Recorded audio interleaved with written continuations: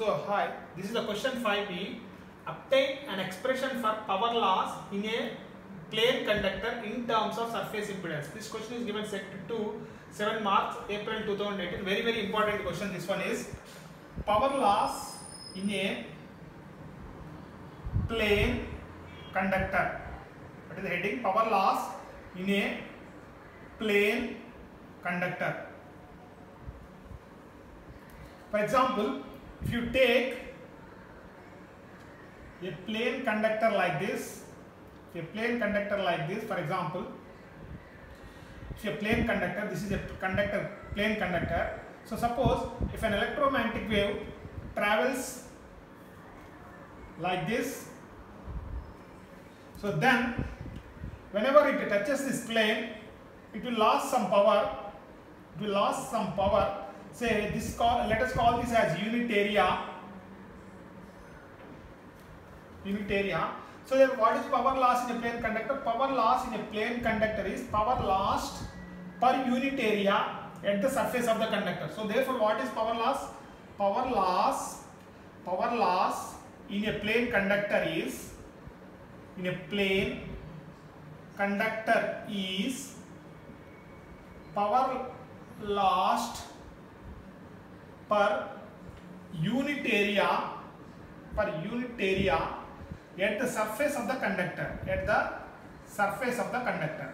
First we have to write what is power loss? Power lost per unit area at the surface of the conductor. How to calculate this?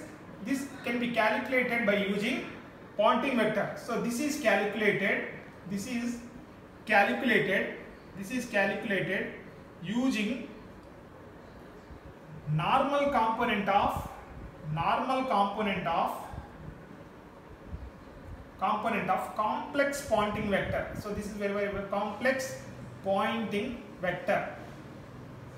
So by using this relation so by using this very very important sentence the normal component of complex Poynting vector by using this we can calculate what is the power loss in a plane conductor when the electromagnetic is traveling through a plane conductor. Now, now, so which is given by the Poynting vector is given by the normal component is given by complex Poynting vector half half 1 by 2 half into real part of E tangential that is tangential component of electric field intensity so complex conjugate. So this is the first formula we have to write.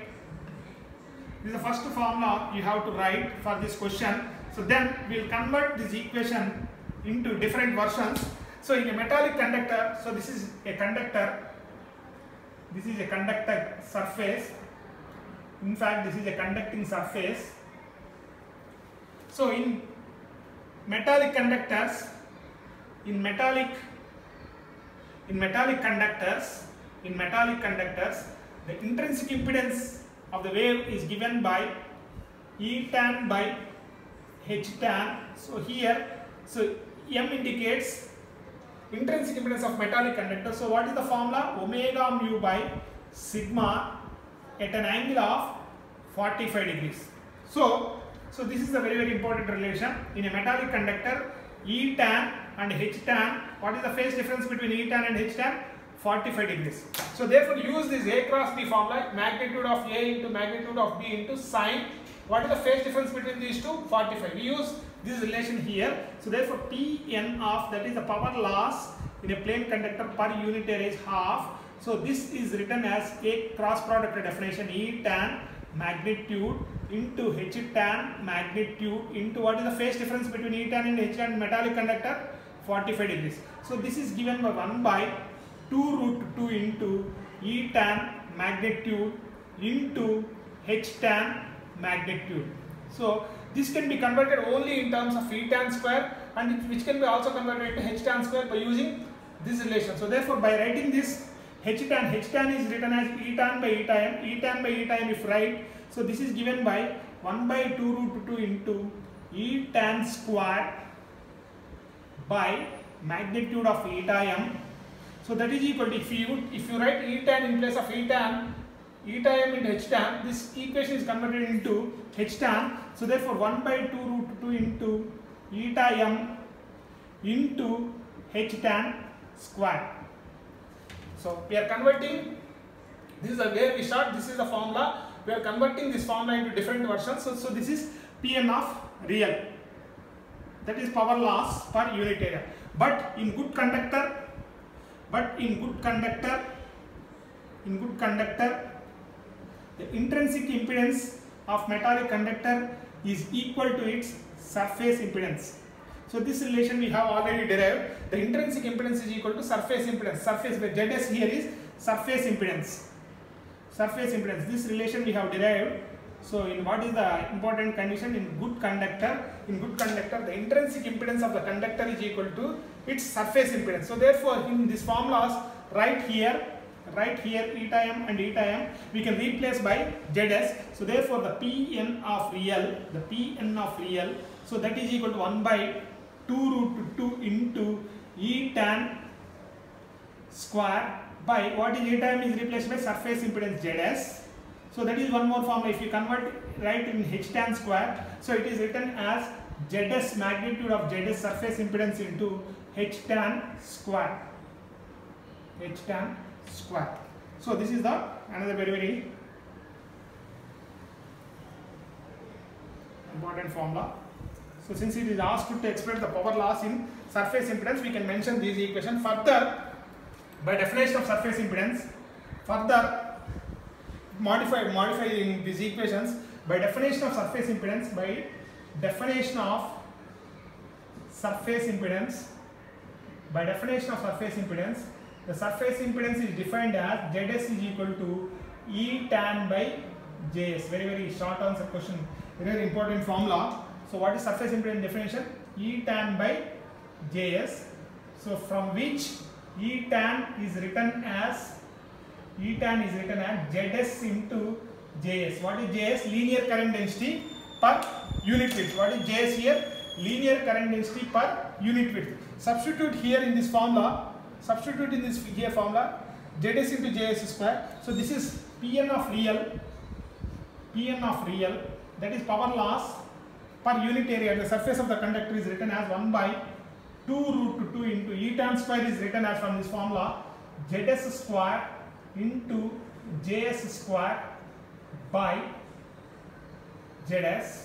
So which is further written as 1 by 2 root 2 into Zs into Js square.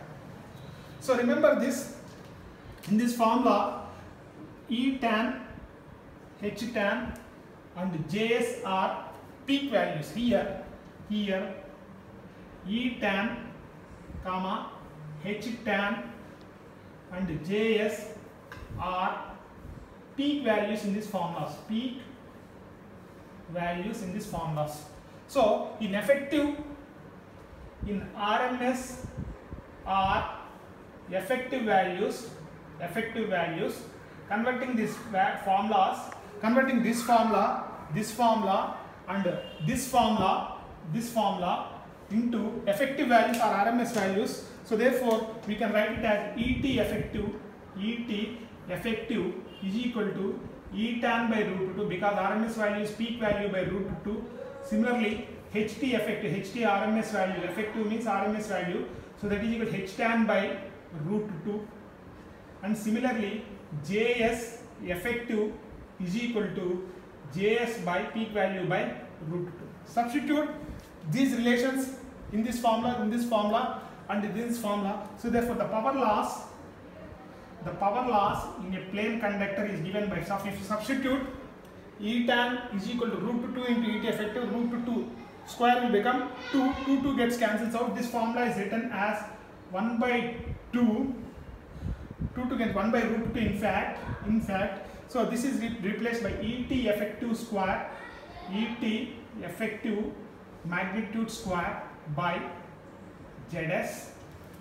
So that is the same formula is written as 1 by root 2 into Zs magnitude of Zs into Ht effective square Ht effective square. So these are the two formulas in terms of RMS values RMS values. So we have converted peak values formula into RMS values formula. We have converted peak values formula into RMS values formula. Similarly, convert this equation into RMS values, RMS values. So therefore, Pn of the power loss in a plane conductor, so that is given by, so which is also given by 1 by root 2 into Zs into Js effective value square. Okay. Finally, we convert further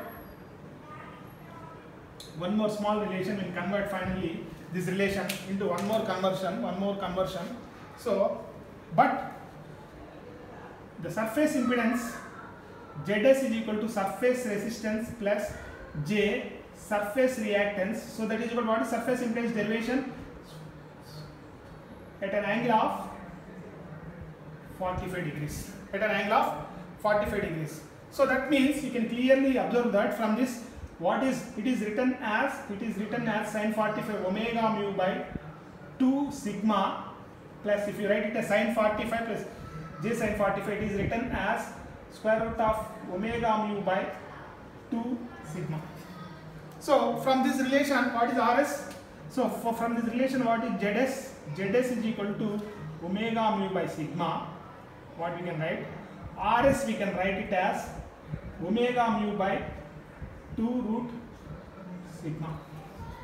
From these two relations you can observe that Zs Rs is written as surface resistance, Rs name is surface resistance, surface resistance is written as Zs by root 2, Zs by root 2 from this relation. Okay. Now in this formula, in this formula you can clearly observe in this formula replace Zs by root 2, this term Zs by root 2 into Rs. So therefore the power loss, the, the normal component of power loss per unit area in a plane conductor is given by this factor is replaced by Rs where Rs is the surface resistance. So which is given by Js linear current density per unit width effective value whole square. So this is the power loss in terms of surface resistance. Remember that here what is Rs? Rs here is Rs here is the surface resistance. Remember the word surface resistance. That is resistance per unit area. Surface resistance. So this is what you have to derive. Very very important question. This is the power loss in a plane conductor.